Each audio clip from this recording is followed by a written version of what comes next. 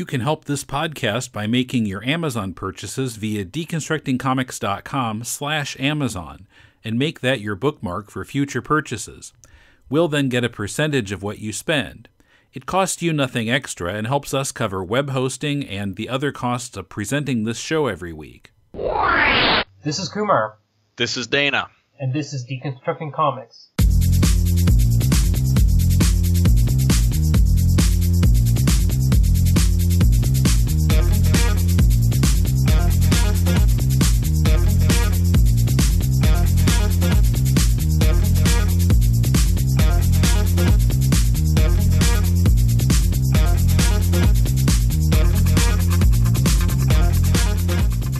Welcome to Deconstructing Comics. This is Kumar in Melbourne, uh, Dana in Shizuoka. It's been a long time since we did one of these, as we were just talking about before we started recording. Um, I feel like it's been more than a year or something. Um, Something like that. Since we recorded that. Ungodly.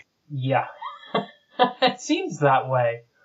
Yeah. Um, but uh, anyway, we're going to talk about uh, Charles Burns's Black Hole, uh, which started in '95 and finished up in 2005, around then, and uh, was released in uh, book form by Pantheon. Originally, it was published by Kitchen Sink and Fantagraphics.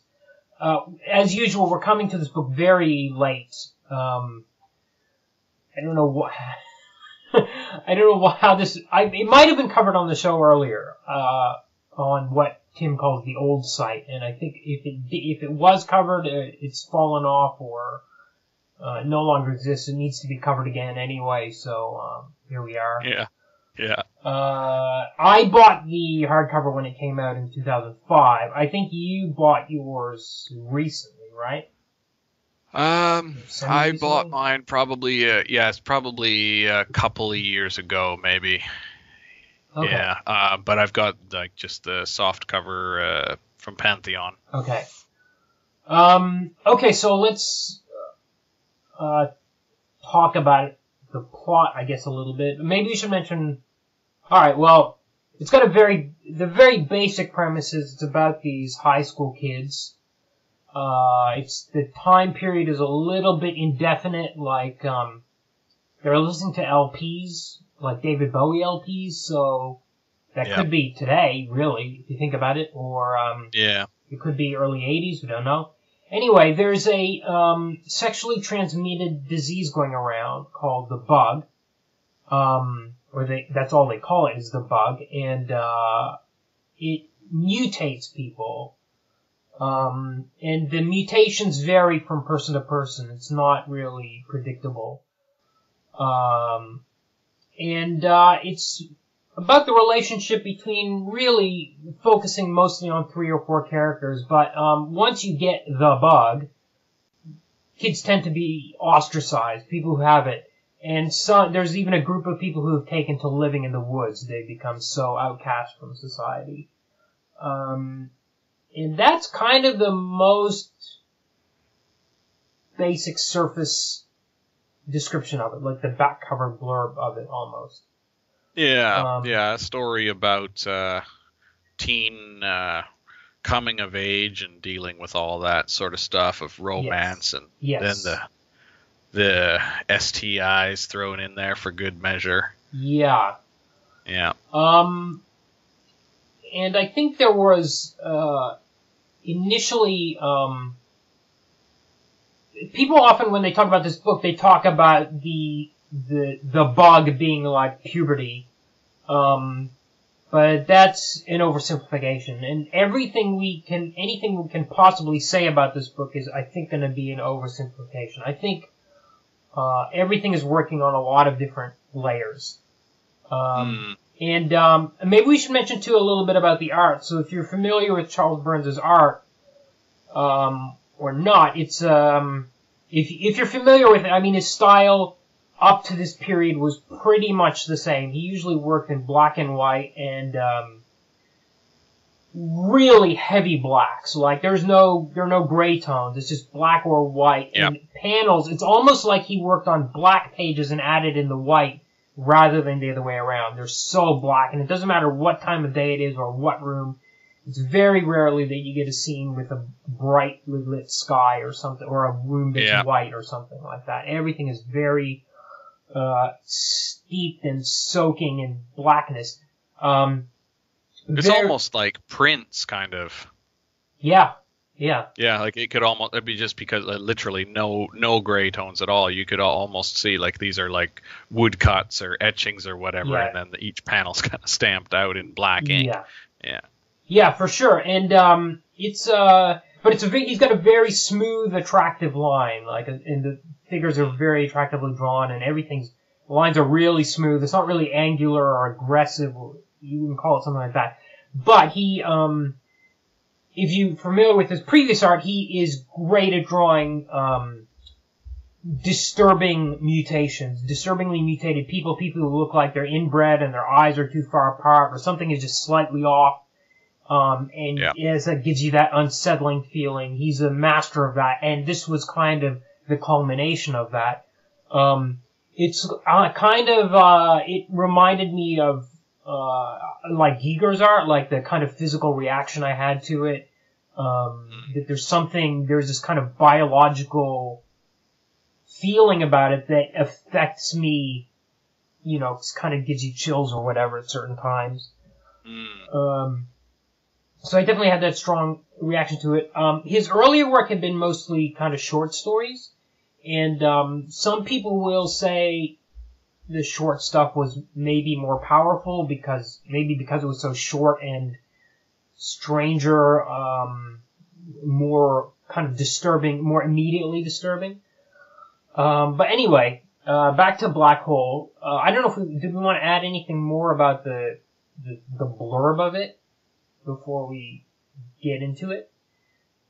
Um, no, it's a minor point, but according to the uh, inside uh, flap of the cover, Mhm. it's set in Seattle in the mid '70s. Okay. Wow. Which well- is actually not in the story No. at all. Uh, you, you can kind of guess from the hairstyles and the music that they talk about, and you know, there's no, there's no, um you know, CD players or smartphones or anything oh, like that. You can true. kind of place it. But yeah, I mean, it could just as easily be the early '80s, and it could just as easily be um, New England as, Yeah. Seattle. Any yeah, town- I any don't know where that information comes from, but that's the the inside uh, Huh. flap of this edition anyway. Maybe there was one. Did they mention a suburb at any state? I don't remember. Um, yeah, maybe. But anyway, um, okay. So the other thing we should probably mention is too that the I'm not I'm not really sure what the entry point for our talking about this should be, but it's also told out of order. Um, so you get later scenes happening. You know, it's all kind of messed up out of order, and then you get flashbacks, and sometimes there are flashbacks inside the flashbacks. Um, so I reread it twice for recording this podcast, and um, still a little bit. I was kind of trying to piece it together. I mean, that was kind of part of the enjoyment for, of it was trying to figure out what order things were happening in. Um, Yeah. In my mind. Um, but okay, so now we now let's get to the main characters. So. Uh, I think we could say there's maybe four really key characters, or three even. Um, there's yeah, I would. I kind of see it almost as as uh, two and a half. Or sorry, one and a half or two kind of couples. right. Yeah, I guess. okay. Yeah, there's sort of the main guy. Uh, Keith is his name, I think. Yes. Yeah. Yeah, and and he kind of is in love with this one girl who's not in love with him, Right. uh, Chris. Yeah. and uh, he knows her from school, and she is involved with uh, what's his name, Rob? Want to say. Yes, that's right, Rob. But she's not initially. She's not involved with him. So, well, Yeah. at least in the first scene we get, they're in biology class, and um, Keith is cutting open. He's trying to act tough, and he's trying to not be affected by cutting open this frog. He's sitting next to Chris, who he has. He's infatuated with. He thinks she's totally beautiful or whatever. Um, and uh, he cuts this thing open, and he starts to. He has this inrush, this kind of vision Yeah. um, and they're populated by images which recur throughout the book, so it's almost like a true vision. I don't Yeah, know quite what we want to make of that. And I mean, later on, he has a dream in which he sees a scene which is identical to a scene which Chris saw earlier of like pulling a wrapped piece, a roll of paper out of a uh, wound in her foot. Yeah. I don't know quite what to make of that. Like I don't make, know quite what to make of a lot of stuff in it. But anyway, so he has this Yeah. vision and he passes out. Okay, so that's kind of our first exposure to him. Keith is kind of a I don't know what to call him. He's a bit of a he's a bit of a stoner. He likes smoking joints with his friends up in the woods. Yeah. Um, and uh, you know, a couple of times he ends up at the house of these dealers um, for kind of different reasons. But anyway, that's kind of the crowd he's mixing with. Yeah. Um, and meanwhile, Chris ends up going to a party with a party where Rob is at. Now, I think she says like she had noticed him before, but on this particular night, um, she says there was something dark and sexy about him. Those are her words. And um, she ends up sleeping with him, and he says, "Before we sleep together, I need to tell you something." And we know from earlier scene that Rob uh, has the bug, and he has grown an extra mouth which speaks, which is very at the very bottom of his neck, at the top of his chest. And uh, he tends to wear turtlenecks to cover it up, or whatever, or even shirts covered up enough. But he says, "I need to Yeah. tell you something." She says, "Don't bother, I know." And he assumes she means that she knows that he has the bug because he thinks everybody knows about it. And they sleep together, and she ends up getting infected, and she didn't know beforehand. So it seems initially like just kind of it's like a party hookup. Like they literally walk into the party and go to a cemetery to have sex in. It's just like we need to go, you know, just find some place to do it. Yeah. Um, and then later in school, they're uh, uh, she has trouble talking to him, like he's kind of avoiding her, and then finally, at some stage, they reconnect, and then they, despite the fact that it seemed like it was just a party hookup, uh, they start an intense, loving relationship, uh, with each other. Um, her parents, she goes off for the night with him. She lies to her parents, says she's going to a friend's house. She goes with him and they go camping um, out at the beach.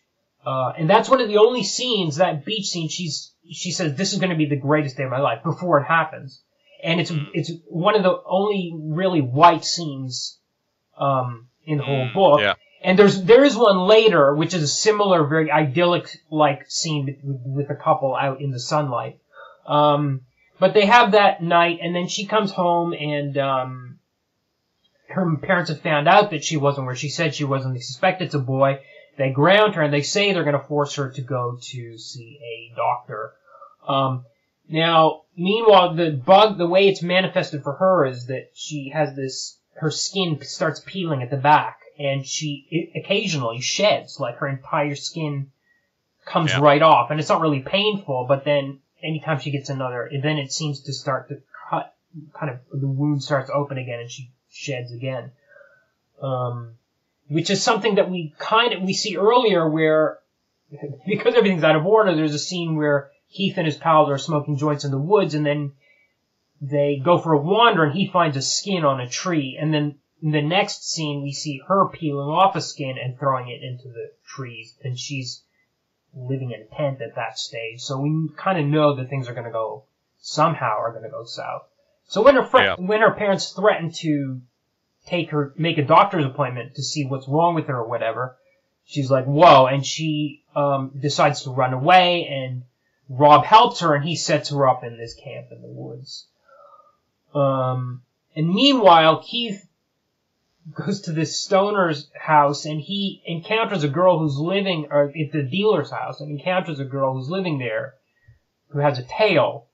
Um, and he kind of forms a sexual attraction for her as well, uh, as Yeah. Chris, because Chris has gone off with Rob, and there's so many elements here.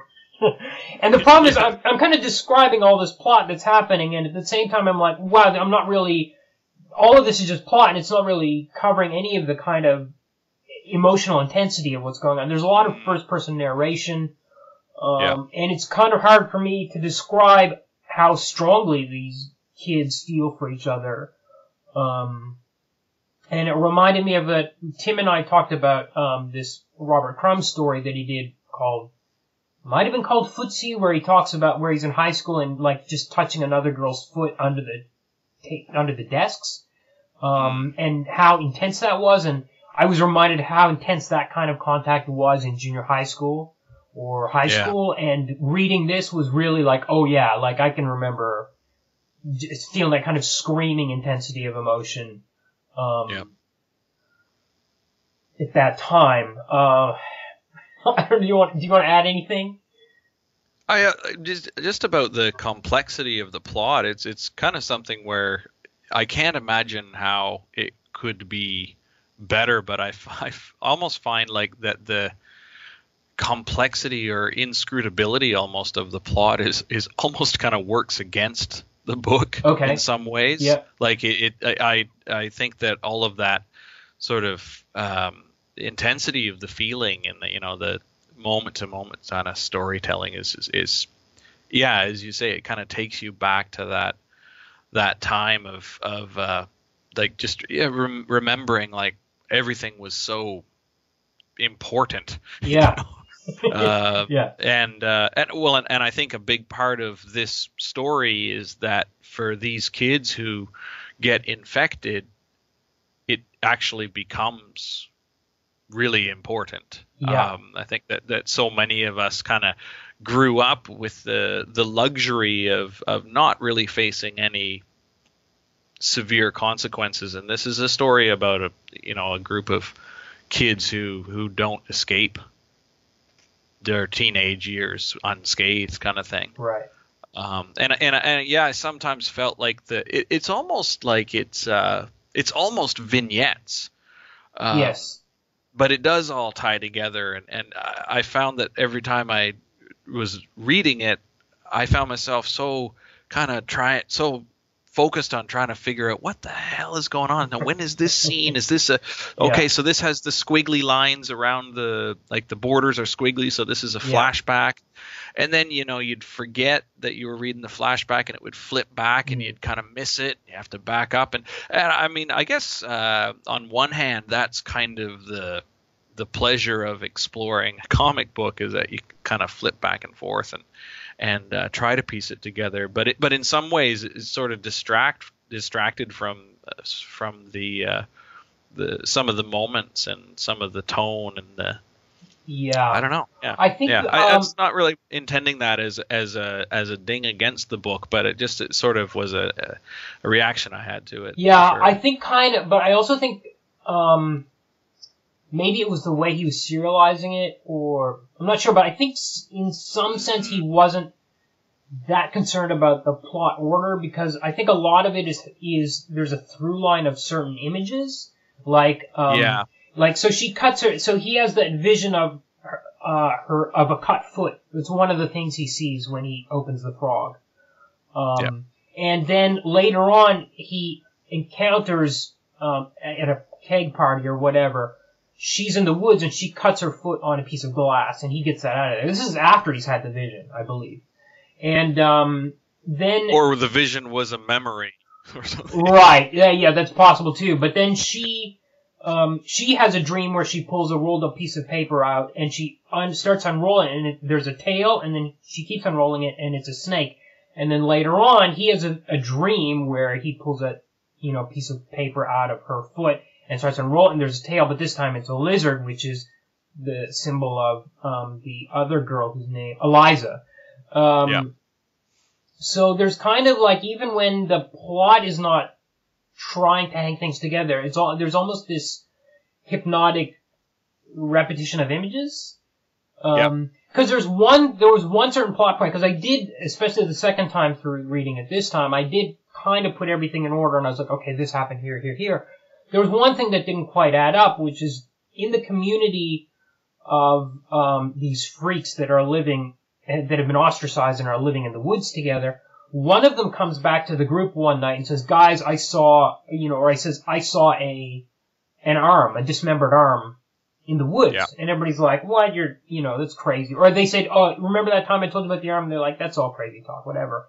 But later on, Yeah. Keith gets totally high out of his mind and ends up wandering up to the woods and stumbles on this community by accident. And he sees the arm on his way there, which freaks him out, naturally. And um, he gets there and he's like, guys, I saw an arm in the woods. And they're like, what? And it's like they've never heard of it before. And I looked very carefully at the panels and it seemed like um, the guy who told the story the first time was in the scene, I think. So Mhm. there's no way that it, those two don't really reconcile. It's not like it could have happened before or after. Like somebody would rec- remember either Keith seeing it or that guy seeing it. You know, Mm. the next time it came up. So I, I Yeah. kind of that was the one hole where I thought, well, maybe he was serializing and he didn't really think about the plot that it wasn't that tight or wasn't that important to him Yeah. um, it was just kind of secondary to more of like the emotional recurrences. And there's some Yeah. things too, like, you know, like it almost doesn't matter because there's a, so what happens is, um, Rob, major spoiler for this book, which is now 20 years old, um, Rob ends up getting murdered.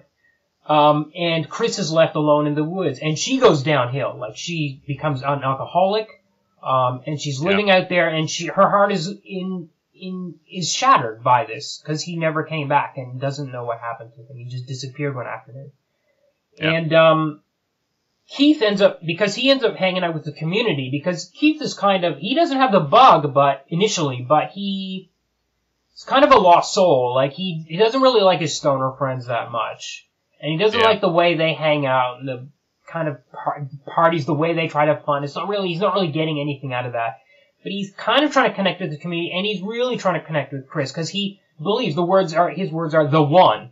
Um, and he's Yeah. got this kind of naive thing about the one, and um, he believes it's her, and he tries to be really nice to her, and she kind of can see right through it, and we can see right through it. That he's like, hey, you know, I'm taking care of these people's house for the summer, and you can come stay there and be comfortable and have a shower and stuff. And he prepares all these snacks for her, exactly what she likes, because he's kind of, you know, gotten that information out of her and stuff.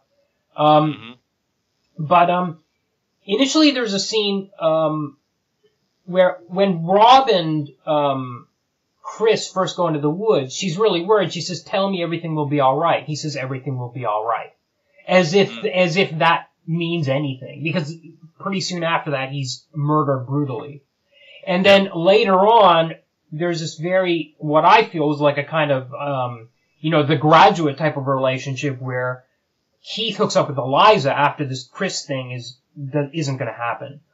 Um, and she's, you know, she's a wreck and she's an alcoholic. And uh, he hooks up with Eliza, and she says the same. Tell me everything's going to be all right. He says everything's going to be all right, and it's almost like the same. There's that parallel there.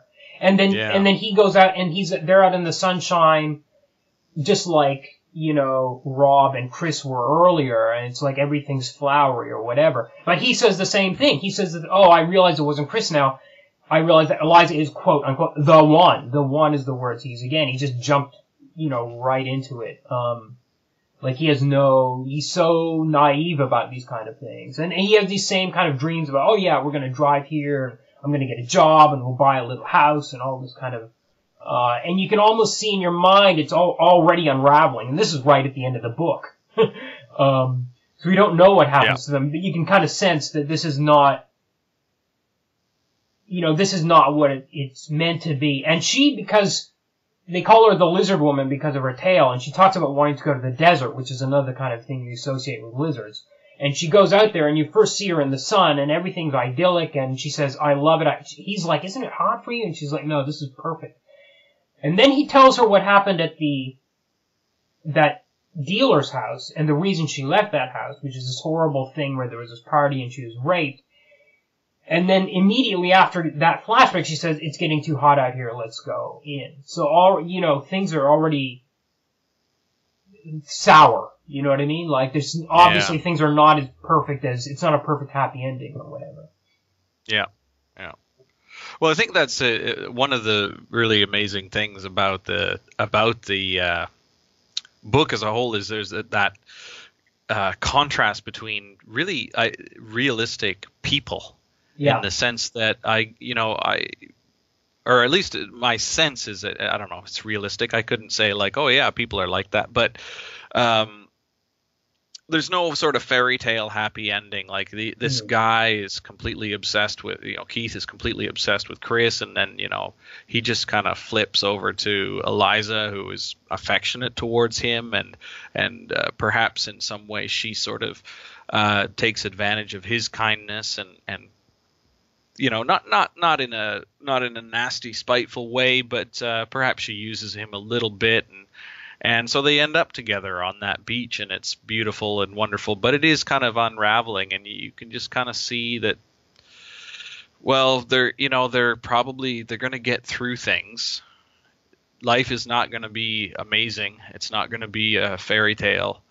Um, but it's it's it's going to go on you know life is Mhm. going to go on and in some ways they they do escape the you know they escape the woods they escape the town they're still flawed humans Mhm. but i don't know you can almost see that as as that they're getting out of that phase of their life where everything is just oh she's the one or Hmm. he's the one everything's going to be okay Yeah. um, we have each other, so we'll be fine. That's kind of a theme that comes Or- with both couples. yeah. Yeah. We'll be we'll be fine or yeah we'll we'll just we'll be and it's not going to be all great necessarily but Mm. yeah yeah um but but then there's that then the contrast of course with all of the um i mean the, there's a lot of uh drug use in the book and and um, a lot of the imagery is really uh surreal really Sure. i mean with the with the uh, mutations and stuff the way that the the bug manifests with people it's it's it's almost like uh yeah they're almost like hallucinations sometimes where it's people don't necessarily look totally wrong but uh, they look a little bit wrong as you said that kind of sense of uh, uh, you know somebody's eyes are just a little bit too far apart they're just something a little bit off Yeah. about them i mean some of them are completely whack you know like dog face guy but uh, yeah. And some people um, can others- pass, like Chris can pass. Yeah. Yeah, Chris can pass. I think all the main characters kind of can. You Yes. know, Rob and Chris and Eliza and and and Keith all sort of, you know, can uh, can probably get by.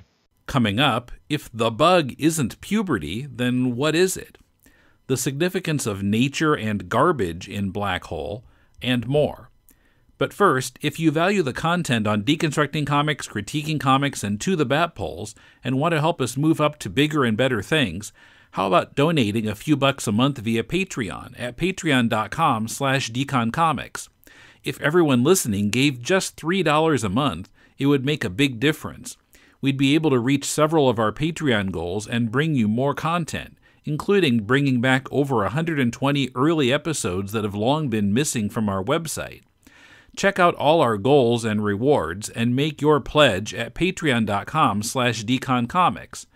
Or you can make a one-time donation via PayPal. Send it to donate at deconstructingcomics.com. I'm Batman. And I'm Robin. This is Tim. And this is Paul. To the Bat Poles! The iTunes reviews are in on To the Bat Poles podcast. These guys do a good job, writes Acello. Who knew that the Batman TV show was such a wellspring of insight into Hollywood trivia, 60s counterculture, sexual mores, and even musical analysis? The Young Brothers know their stuff, says Professor Allen. It is a great mix of nostalgia, analysis, and fun. Highly recommended. You've heard the reviews, now try it for yourself. New episodes on the first, third, and fifth Thursdays of the month on iTunes or Stitcher, or at tothebatpoles.libsyn.com. Batman, Batman, the answer to a policeman's prayer. For nostalgia, analysis, and fun, it's To the Bat Poles.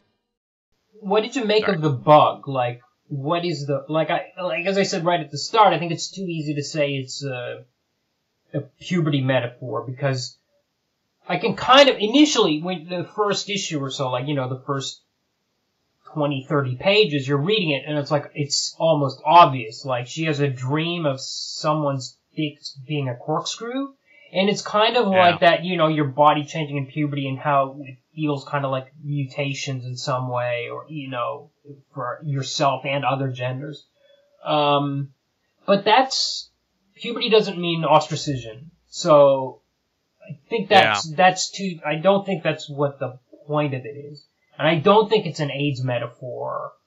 Um, yeah, although that's there's that's no- the one that came to me, but it doesn't. I don't feel that it really fits. It's kind of yeah, because there's a scene later on where one of the guys in the, from the woods goes down to a, a Kentucky Fried Chicken, and um, people in the store are like get out of here. But there's nothing illegal about having the bug.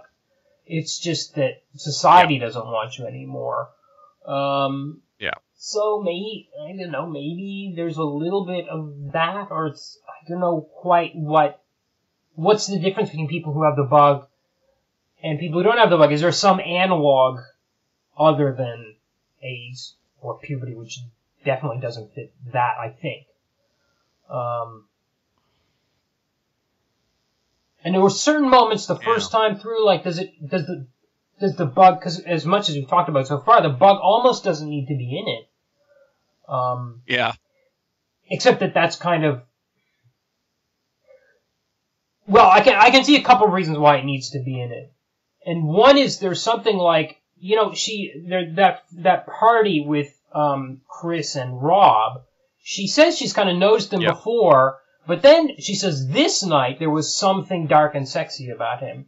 And that to me was like oh now he's infected like he's got the bug, and that I think there I felt like there was some sort of magnetism coming from that because that's a very key thing um, for that you know for the Keith and Eliza relationship is the tail um, Yeah. in terms of it being a kind of sexually attractive thing because that image so Keith he's wandering through the house he's supposed to be getting beers for the other guys and he wanders in the kitchen there's somebody there who wasn't expecting but he opens the door and there's a woman Eliza She's naked from the waist down with her back to him, so he can see the tail, but she's nude. And that image has been burned into my mind for 10 years. Like, I've never forgotten that image, Mm. uh, of her standing there like that. And then she turns around and she covers her crotch. Like, she doesn't cover her tail. Like, there's no Yeah. shame there, but she covers her vagina, which interestingly, that's another image that he had, uh, you know, that hallucinated about when he cut open the frog is the hand covering the vagina. And all the other things were like open wounds, like the open foot and the open slit on Chris's back and stuff. And this is one of the one things, like it's the most vaginal image, the vagina is never, you never see an open vagina. You see a lot of things that look like it. Um, yeah. so she yeah. covers herself up in the front, and um, at that stage, she's very attractive and I don't know if coquettish is the word, but she kind of knows the tail is kind of a turn on, and she's like, "Let's go back to my room," and they walk, and she's pulled her shirt down over the tail, but she he can see it kind of wriggling back there. It's a very kind of Cronenberg kind of body horror attraction thing, and um, yeah. that's kind of a turn on. And then there they do have a sex scene later on, a later visit, and she's like, okay, let's do a doggy style. And, and he's like, the tail's getting. She's like, grab the tail. But the first time she gets down there, she's like, my tail turned you on, didn't it? Like she kind of knows. So, um, there's almost, maybe the bug is more like, as I'm saying this, it's coming to me, it's almost like a loss of virginity more than puberty. Um, that it's kind of setting people apart that way and making them more, like, once you have it, it's more sexualizing. Uh, although maybe that's oversimplifying it too. Yeah, or is it, or is it in some way just, uh, you know, it's it, in some ways it just functions as a plot device, um, and maybe I, I think it has other functions as well, but um, I don't know. I don't know that it, it doesn't fit really neatly into anything that you can kind of say, Yeah. oh yeah, look at this, look at this. Yeah. Um, in, in in some ways, it's like okay, this is an episode of X Files where we've got like regular regular uh, drug dealers, but the drug is from the planet X. Right. Right. Right? I see so it's just it's just some kind of like weird sort of sci-fi thing going on, and uh, and and I don't, I don't yeah, again don't want to say that to cheapen to cheapen it because it it seems to work on a lot of different levels as well.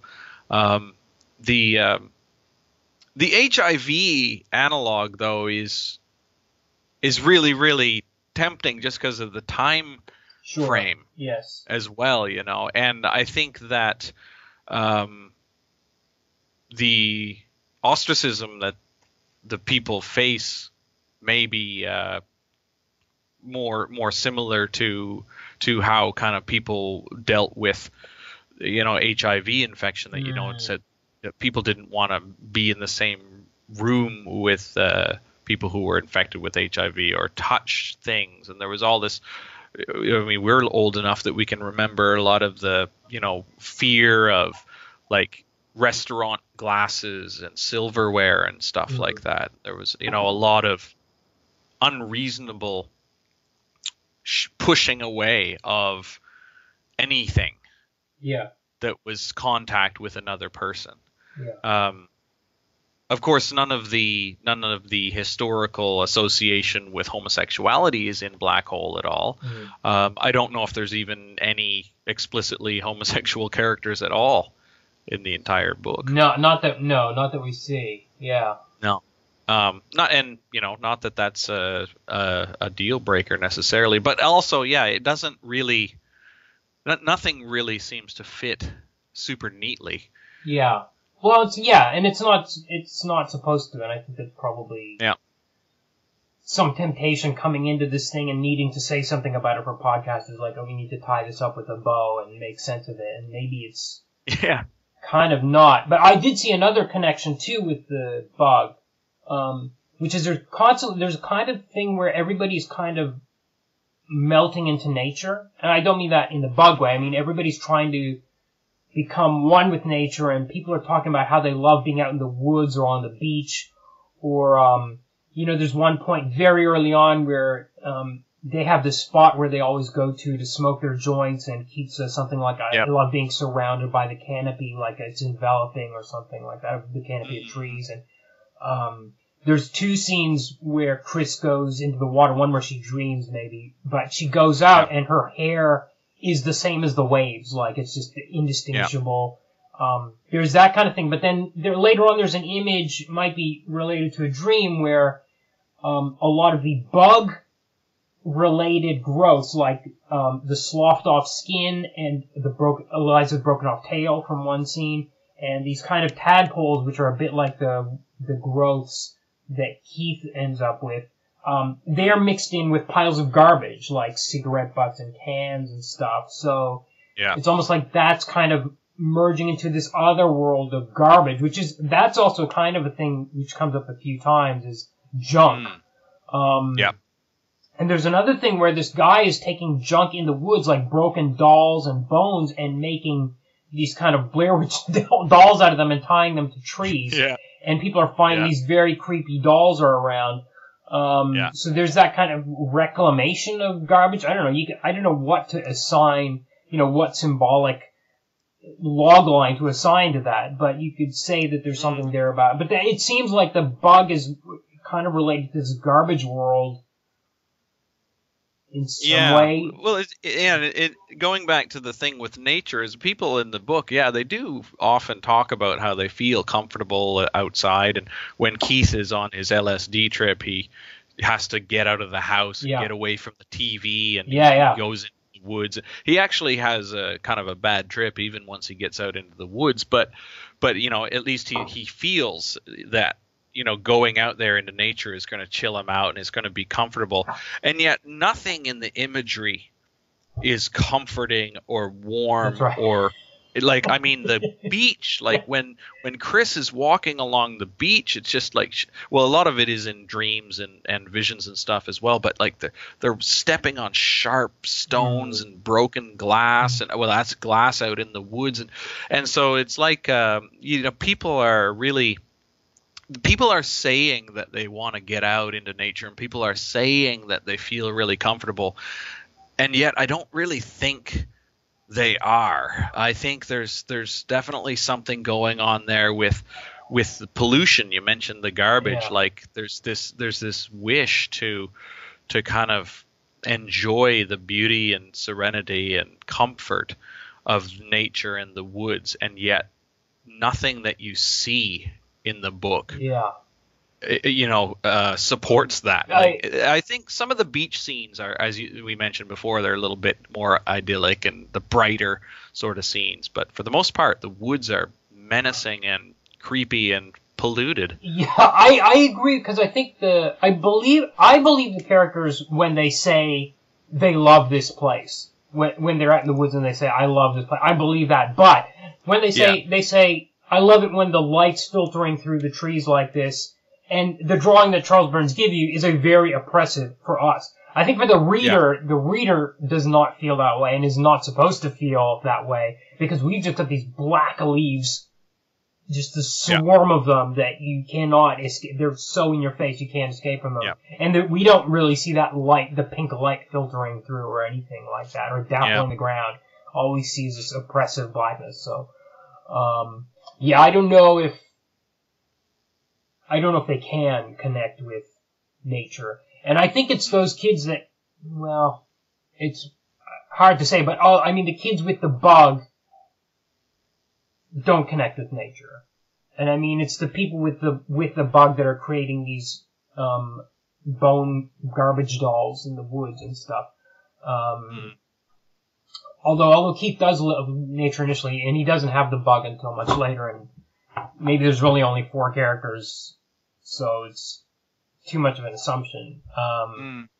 But now he actually, you could argue, and maybe it's obvious, but he he he infects himself intentionally, basically, yeah, right? Like he knows Yeah. Eliza's infected when Yeah. he sleeps with her. yeah, It's like he does that to kind of and and as you mentioned before, like he sort of starts spending time with the people out in the woods and stuff who are all infected, and he is almost he seems more comfortable with them, and so he's kind of like infecting himself so Well- that you know in that attempt to get into that group or maybe Right. to get back to nature or right.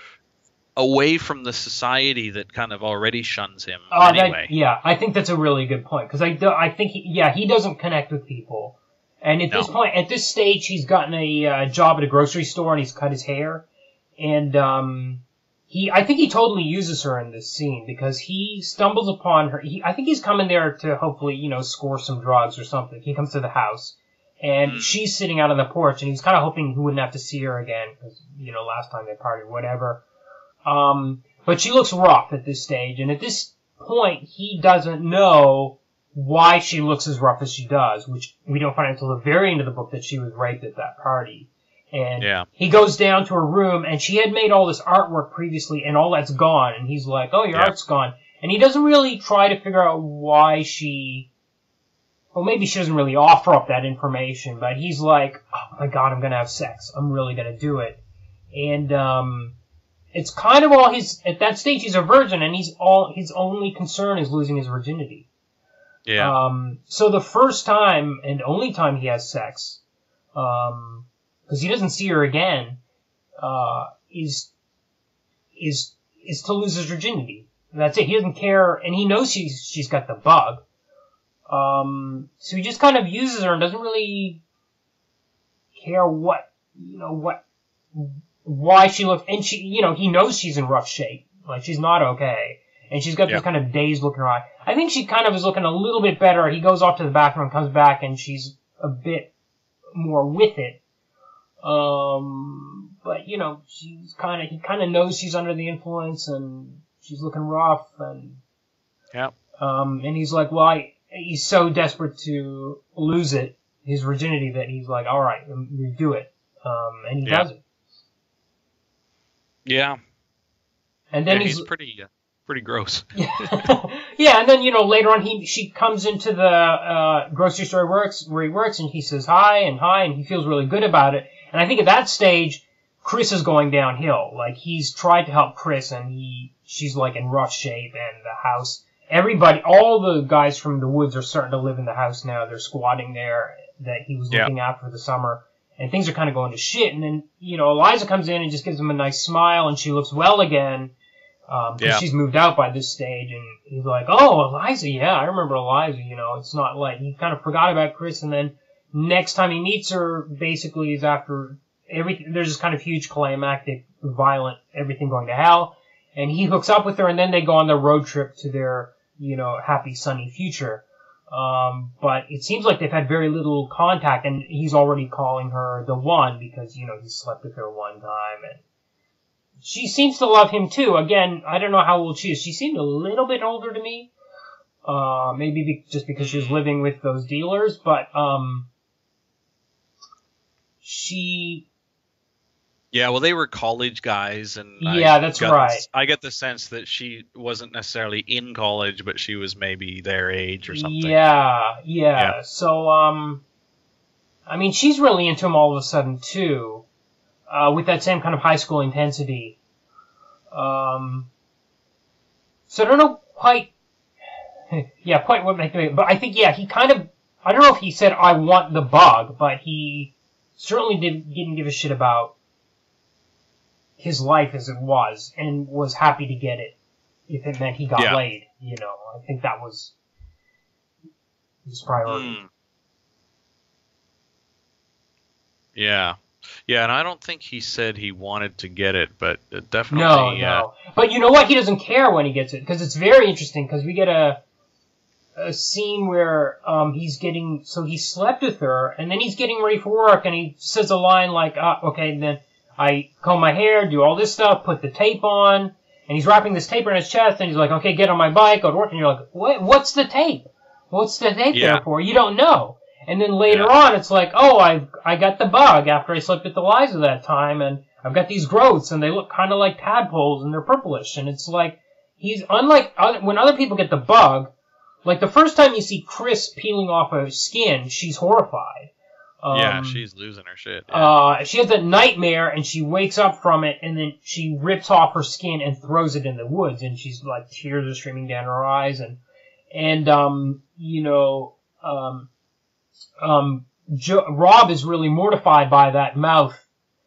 Um, Mm. and we haven't mentioned the scene. There's an amazing scene where he exposes the mouth um, to Chris for the first time, and Yeah. she makes out with it like she kisses it. She French kisses it. Uh, it's Yeah. a real Cronenberg moment. Um, Yeah. Which was uh, so intimate. Like I, I felt like watching that was so full on. Um, so, but so and for everybody else, the having the bug is a really big deal. For Keith, it's just like whatever. Yeah. He's like, okay, I got the bug. I'll live with it. It's fine because yeah. I don't know what he thinks the outcome is going to be. I guess he can pass as long as he covers it up or whatever. But um, yeah, interesting. interesting how carefree he was about it. That and and going back to the whole bug thing and what is the bug like aside from the mutation there doesn't seem to be there's no other uh, you know consequence or whatever it's I, I guess it, it's something that might be a strike against the HIV metaphor is that It's not like people aren't dying from no. it Yeah. you know they're they're they seem to be perfectly healthy and if if uh, if there wasn't uh, that you know if they weren't ostracized from society they'd just probably continue on their lives normally Yes. Yeah, So, yeah, yeah. yeah. Chris would have continued her life if her parents hadn't threatened to make a doctor's appointment. She would have Yeah. just gone on living in her house, and Yeah. nobody would have known about it. Um, except the kids at school had found out by accident, sort of. Um, But yeah. Uh, unless unless it, there was something really subtle in there because there were the you know the the uh, crazy guys that were like killing people and stuff and uh, I don't know if that was bug related or if it was just I know. You know what? That no, no. I don't think that was at all. I think that was totally like they were the high school guys that got rejected by the girls, and um, yeah and they just they snapped. They were that those kind of you know the guys that now would go on a machine gun rampage or whatever. right Um, yeah yeah. That's how that's how I interpreted that anyway. Mm, yeah no same here because uh, it seemed like the rest of those people were all like really friendly and Yeah. helpful to Chris and Keith when they ended up out there Yeah. when they were in trouble and stuff like that. And yeah, everybody seemed really, really cool except those. Well, I mean, those two guys was seemed all right, just kind of quiet, Mm. except when they were blowing people's heads off. Yeah, yeah. Yeah. Um, okay, I think we've kind of, in a sense, we've kind of covered it. Um, Yeah, but kind I, of. I think the thing, I mean, I think I think it's a, a massive book. I think it's one of the all-time greats. Mm. Uh, I think it's kind of forgotten. Uh, somehow, I it's kind of or not forgotten, but at least it's fallen out of the conversation. People don't talk about it much Mm. anymore for some reason. Uh, but I think it's absolutely huge. Uh, and it's so moving. And I connected with the intensity that they were Mm. feeling. Like, I totally sympathized with that. I felt it.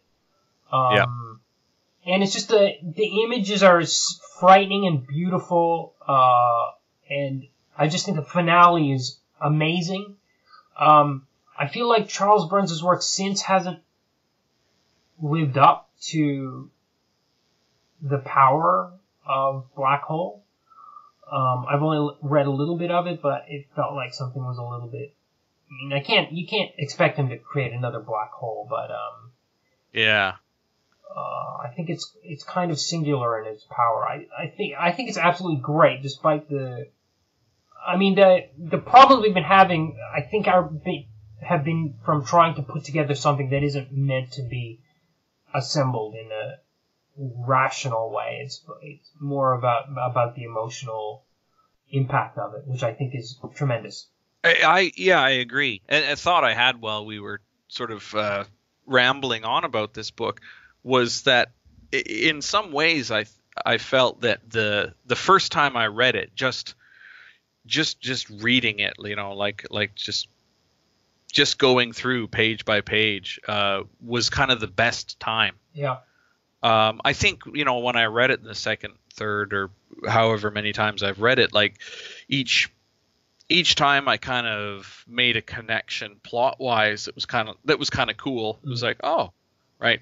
Um, well, actually, the second time I read it, I actually uh, realized that Chris and Keith and Rob were different people.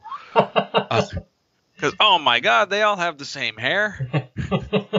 yeah, I seriously was so confused the first time I read it. I didn't realize that at least Rob and Keith, I didn't realize they were different people yeah, for most of the book. right, And there were a lot of chapters about Chris yeah, that I actually thought would, that I didn't realize was was was about Chris until she took her clothes off and I was like, "Oh, wait, that's not Keith." uh, but you know, just sort of despite that, um, I think, yeah, I think that first time where you you know you can't possibly g- grasp the the the mess of plot, and I don't mean mess in a bad way, but just it's so. Um, uh, Serpentine. not yeah serpentine it's not chronological with all of the flashbacks and visions and drug trips and all of those things it's just it's it's uh it's just a it's a mm, it's a an experience an emotional experience Yeah. of you know tone and and uh yeah discomfort and longing and obsession and yeah it's just i th- i think that a lot of uh a lot of times when I listen to this podcast, uh, you know, I, I kind of discover books that I didn't know about and I read.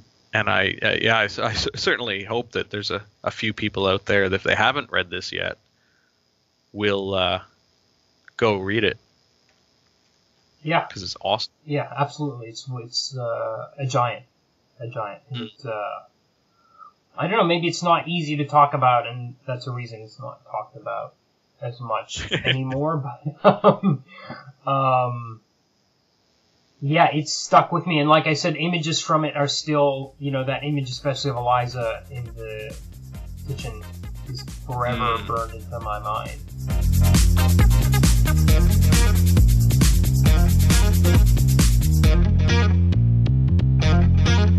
Black Hole is published by Pantheon. Thanks to Kumar and Dana for stepping in this week. Write us at mail at deconstructingcomics.com or look us up on Patreon, Twitter, Tumblr, Facebook, and YouTube. All our social media links can be found on the right sidebar at deconstructingcomics.com. Also, please give us a review on iTunes or Stitcher. Our theme is from bensound.com. This coming Thursday on To the Bat Poles, Paul and I are joined by cartoonist and podcaster Joe Dator to discuss the Sandman Catwoman team up arc, the last Batman episode broadcast in 1966. Look up To the Bat Poles wherever you find your podcasts or at tothebatpoles.libsyn.com. If you're looking for some constructive feedback on your comic, send it to us and Mulele and I will critique it on our spin off podcast, Critiquing Comics. Send it to mail at deconstructingcomics.com and please try to keep it to about 30 pages. We're on a bit of a hiatus right now, but we'll be back as soon as possible. Next week on this show, Tom Spurgeon joins Kumar and me to discuss his new book, A History of Fantagraphics, with the great title of We Told You So. Till then, this is Tim, and thanks for listening to Deconstructing Comics.